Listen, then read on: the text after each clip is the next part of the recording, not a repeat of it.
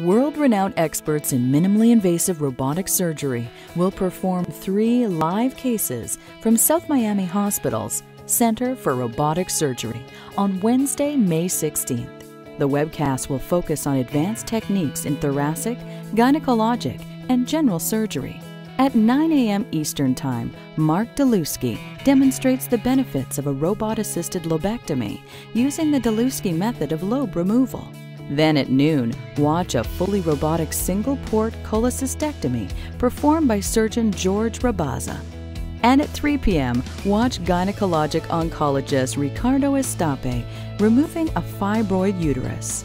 We decided to do this Look In On Us webcast to be able to show people what we're doing on a live basis, what we'll be able to do on a full procedure because a lot of physicians will go and see an edited version of the procedure and you only see the important parts of the procedure but you don't see the actual entire procedure.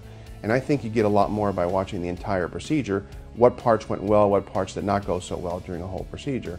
And so we're going to show three different types of procedures during the entire webcast.